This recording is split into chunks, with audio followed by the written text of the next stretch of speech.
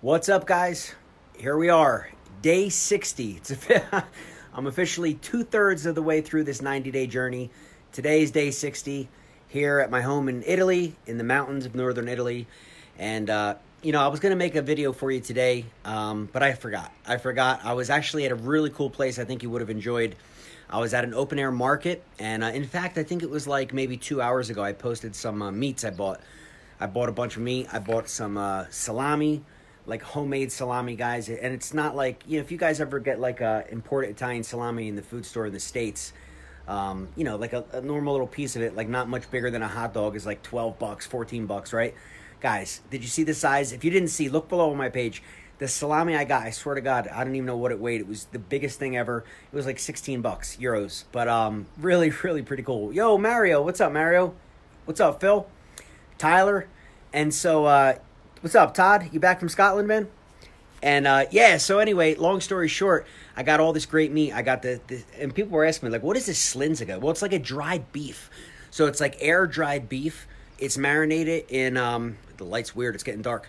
It's marinated in like uh, wine and different spices and all, and then they just hang it and they dry it. So that thing in the middle in my picture below is basically just a piece of beef, a slab of meat. But you cut it in these little thin strips. My God, it's fantastic. And I got those little sausages and stuff like that. So um, they had a lot of other great stuff too. They had a, like like fried donuts, like this fried pasta type dessert. Um, all stuff I obviously couldn't couldn't buy or couldn't eat, but the kids liked it. So like all those big open things of candy, fresh fruit, and all that stuff. So really pretty cool.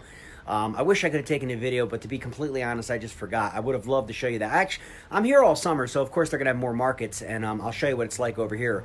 But I was pretty excited to find that. You know what I mean? Especially the salami, because eating a low carb diet, um, you don't want your protein to be too high too. If you're following like a keto ish type diet, so I, I always look for meats that are high in fat, like salami, like sausage, like a nice ribeye steak, stuff like that. You know what I mean?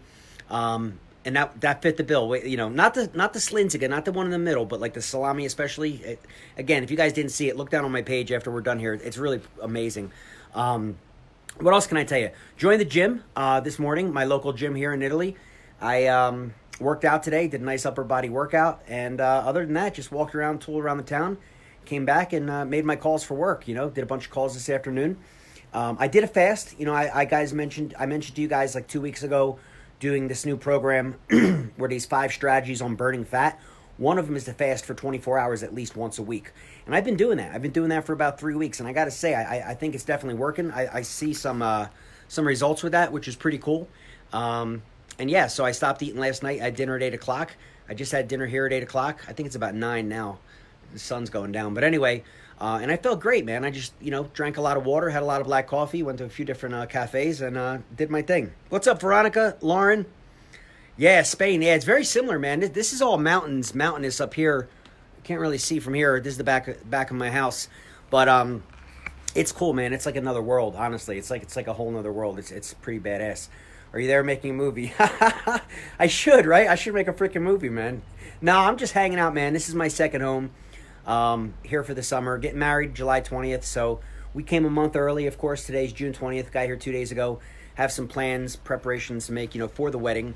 And then I have my whole family flying in. Uh, my brother and my sister and their, you know, spouses, children, uh, my uncles and aunts, um, some of them anyway. My parents, of course, a bunch of friends. So no, so it's going to be great. They're going to be getting here in about a month. Uh, they're going to be staying anywhere between a week and uh, two to three weeks, uh, depending on how long they can stay. But yeah, and then I come back uh, late August and I go right to Vegas for a conference for the gel and the keto product. So, anyway, other than that, man, it's going pretty good.